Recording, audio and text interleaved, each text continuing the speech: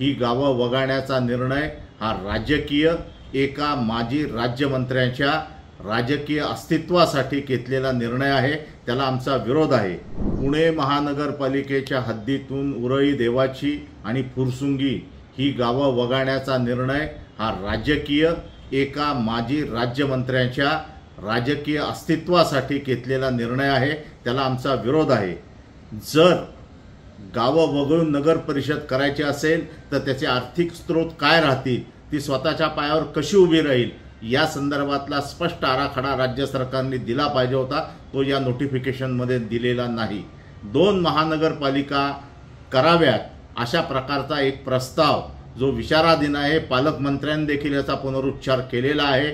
त्या ठिकाणचे आमदार चेतन तुपे यांना देखील हवा आहे. त्याचं प्रारूप आम्ही दाखल करू. तसंच या संदर्भातली हरकत योग्य वेळेत घेऊ आणि जर याला पर फायदा झाला नाही जर सरकारने ऐकलं नाही तर हायकोर्टामध्ये जाण्याचा आमचा पर्याय हा उपलब्ध राहील. कुठल्याही परिस्थितीत नागरिकांना त्रास होऊ नये ही आमची भूमिका आहे.